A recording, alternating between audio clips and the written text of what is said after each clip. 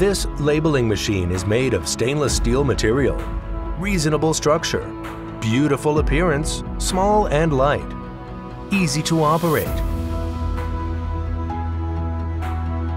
Data can be adjusted on touchscreen.